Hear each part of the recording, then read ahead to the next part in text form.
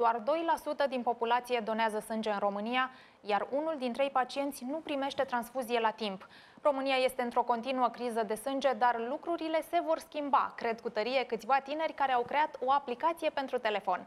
Se numește Donorium, iar cofondatoarea proiectului este alături de mine în studio, Diana Stoica, bine ai venit! Bună ziua, bine v-am găsit și mulțumim de invitație! Cu mare drag! Spunem, te rog, Diana, ce face mai exact această aplicație? Aplicația îți permite să te programezi la donare într-o zi în care tu vrei să mergi, să-ți alegi ora la care vrei să donezi. Deci intri pe calendar, intri îți alegi calendar. ziua, ora da. și exact la acea oră tu Tu vei fi primit cu prioritate, și... da, e important să respectăm programarea. După aceea îți poți uh, adăuga programarea în calendarul tău, îi vei primi reminder cu o oră, șase sau câte preferi tu înainte și acum confirmăm programarea. De asemenea, vei putea să mai primești apeluri de la centrele de transfuzie sanguină în momentul în care scade stocul pe o anumită grupă. Momentan nu avem apeluri în aplicație. Vei putea să primești medalii și să concurezi cu prietenii pentru activitățile pro-donare pe care le faci.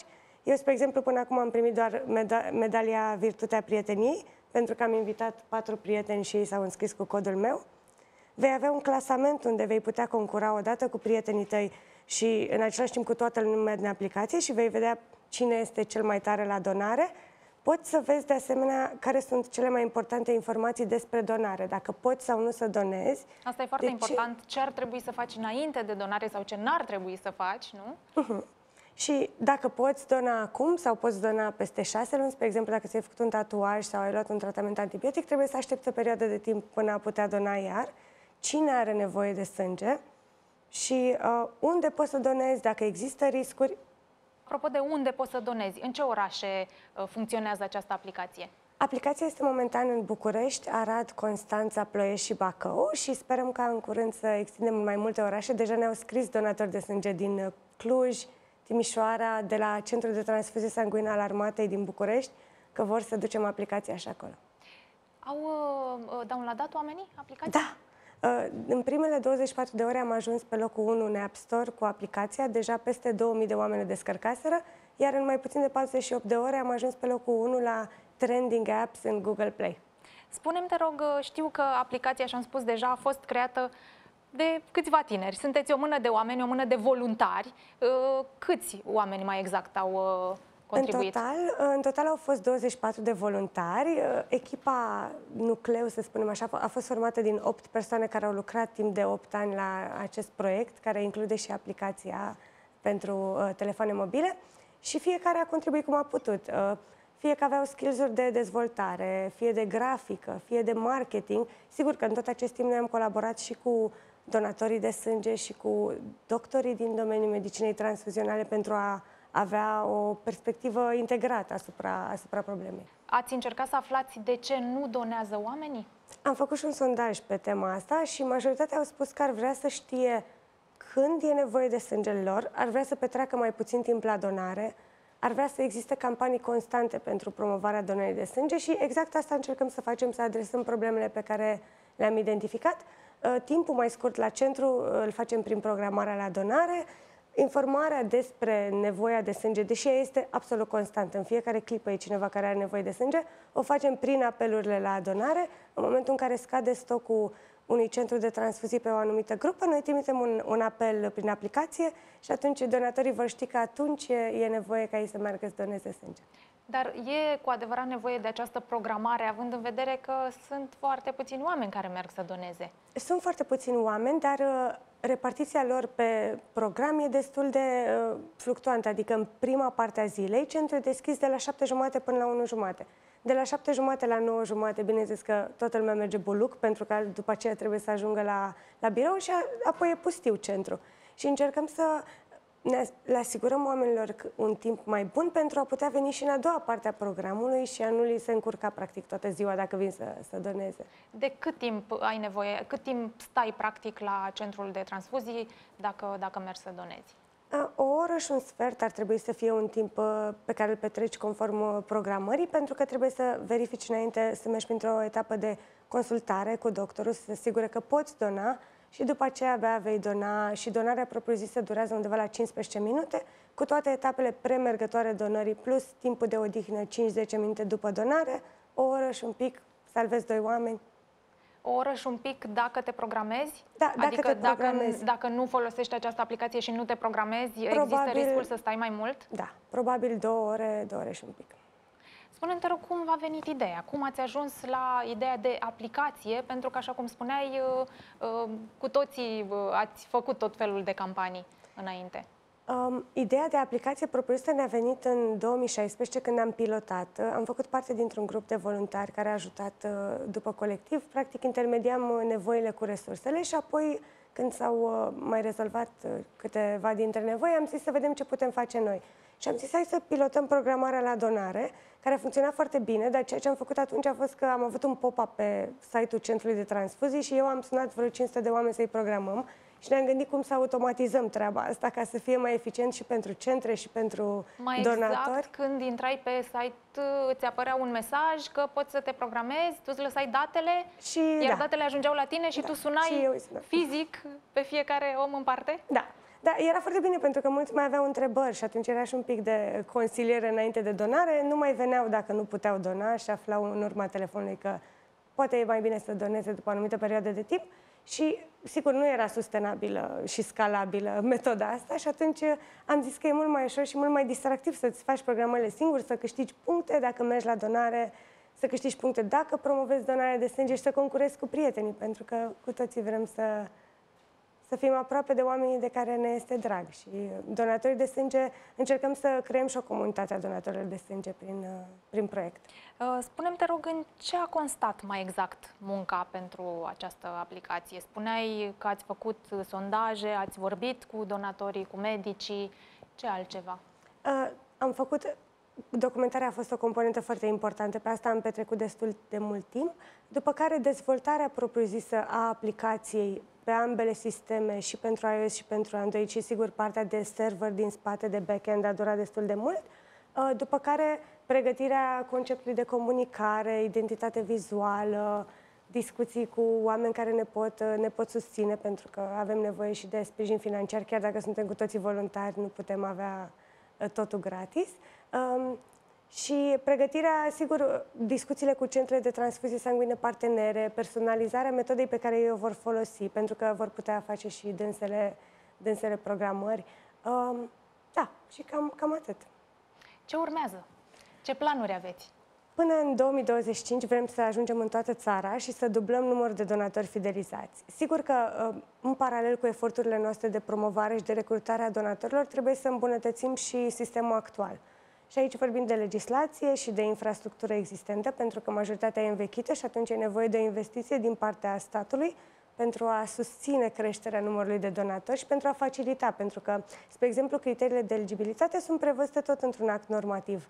Ele au fost elaborate uh, acum foarte mulți, foarte ani. mulți ani. Și sigur că toată legislația ar beneficia de ceva îmbunătățiri uh, aferente timpului în care trăim. Spunem te rog, și de ce e important să doneze oamenii sânge? E important ca oamenii să doneze pentru că în fiecare clipă este cineva care are nevoie de sânge în spitale. Fie că e vorba de o persoană care a fost diagnosticată cu cancer, cu talasemie sau care a suferit un accident rutier, care a suferit arsuri. Toate intervențiile ortopedice au nevoie de, de transfuzii sau cel puțin de sânge pentru a fi acolo în cazul în care se întâmplă ceva în timpul operației. De asemenea, um, sunt foarte mulți bebeluși care sunt născuți cu anemie și au nevoie de transfuzii pentru a deveni puternici și e important să știm că chiar dacă nu este o persoană pe care o cunoaștem noi, nu este mama unui prieten, nu este prietenul unui prieten, este mama cuiva. Și e important să donăm, uh, să donăm mereu. Și poate să ne gândim că nu se știe niciodată când uh, chiar noi poate că vom avea nevoie de sânge sau cineva din familia noastră. Da, oricare dintre noi poate ajunge în situația asta da. și tocmai de aceea ar fi bine ca atunci să existe sânge pentru noi, nu să trebuiască să adunăm uh, prieteni și familie să meargă repede să doneze la centru atunci. Da, despre asta se face de obicei, nu? Dar ar fi bine să, să donăm uh, frecvent, regulat. Aplicația ne anunță și când uh, e bine să mergem din nou la donare? Da, ne aduce aminte, după perioada dintre donări, ne amintește, poți să donezi iar, fă o programare. Îți dă un reminder pe telefon, da. e chiar, chiar util. Uh, la cât timp uh, după o donare poți să donezi din nou? Minim 8 săptămâni, dar uh, doamnele nu pot depăși 4 donări pe an, iar domnii 5 donări pe an. Noi trimitem reminder odată la trei luni.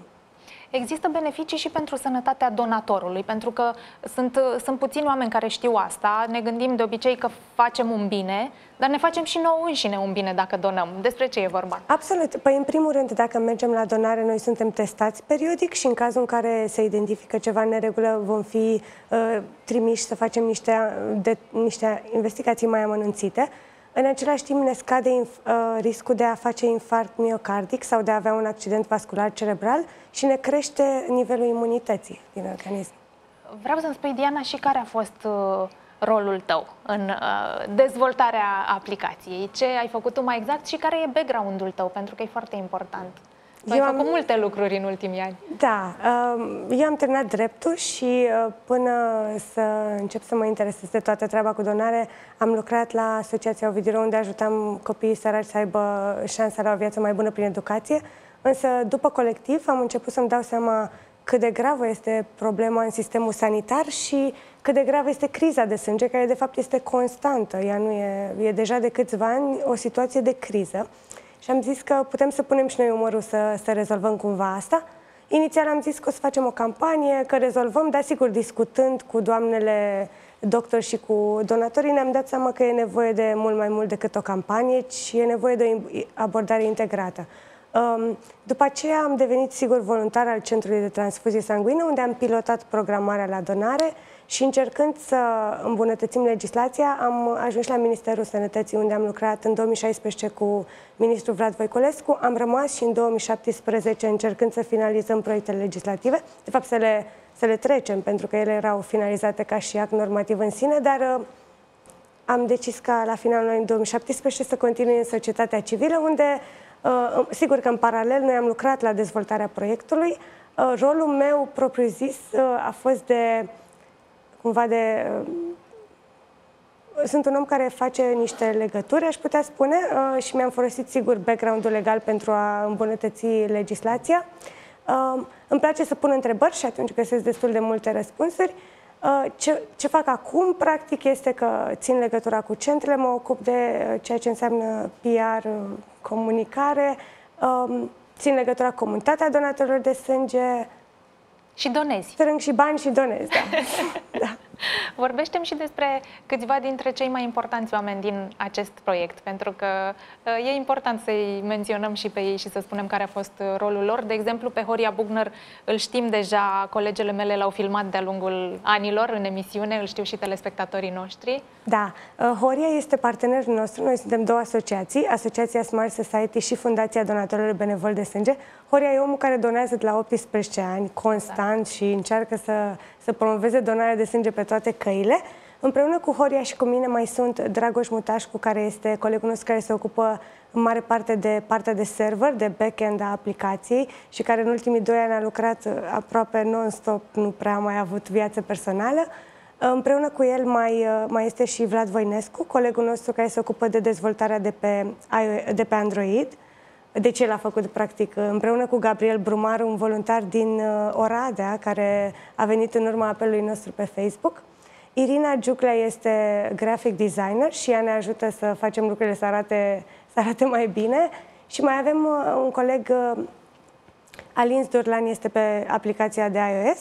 Și mai avem un coleg, Claudiu Antohi, de la Cluj, pe uh, user experience, deci ca să facem lucrurile cât mai simple pentru utilizator în general și în special în aplicație. Din toată țara, deci? Din toată țara, da. V-ați da. adunat uh, o mână de oameni, dar cum uh, susțineți această aplicație? Pentru că e nevoie până la urmă de bani. Da. Și mă... pentru aplicație, dar și pentru voi, că practic munciți, asta faceți mereu. Da, în momentul de față avem un partener universitar major și suntem în căutare de, de parteneri noi constant, pentru că dezvoltarea uh, proiectului la scară națională depinde practic și de capacitatea noastră operațională, care depinde de sprijinul financiar pe care îl avem. În momentul de față suntem, uh, beneficiem practic doar de sprijin din partea uh, companiilor. Deci sponsorizări, sponsorizări da. Statul nu, nu contribuie. Nu, nu știu păcate. să existe vreo linie de finanțare pentru ONG-uri, deși uh, atribuția de a promova donarea de sânge este la Ministerul Sănătății, dar noi vrem să colaborăm cu toți actorii implicați și să, să facem cu toții ce putem ca să, să promovăm donarea de sânge. Uh, au, s-au programat oamenii deja? Au da. fost programări? Cum, cum a mers? Au fost și la centru. Cele mai multe programări au fost în București, pentru că aici e momentan cel mai mare număr de, de utilizatori. Uh, a mers destul de bine din ce mi-au scris. Au, am avut și câteva prietene care s-au programat și le-am rugat să-mi spună cum a fost. Uh, omul ajunge la centru, de la recepție îi se spune că are prioritate pentru circuit. E important ca fiecare donator să spună că este programat când ajunge la centru, parcurge circuitul donatorului, iar în momentul în care donează, în sala de recoltare există un cod, pe, uh, un cod QR afișat pe un poster și donatorii își validează codul QR cu telefonul și câștigă puncte în aplicație și astfel se și înregistrează data ultimei donări, iar peste perioada de 3 luni va primi un reminder să doneze iar. Mulțumesc tare mult, Mulțumesc. Diana, pentru prezență și felicitări pentru ce faceți. Așteptăm noutăți, așteptăm uh, dublarea numărului de donatori, nu? Da. Mulțumim. Mulțumesc.